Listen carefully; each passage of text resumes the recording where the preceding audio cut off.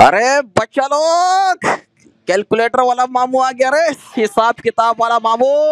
अरे, अपन के पास देख, एक, दो, तीन, चार, पाँच छ सात, आठ, नौ। अरे भाई, दस किधर है वे? और मल्टीप्लाई का निशान भी नहीं है रे अपन के पास रे।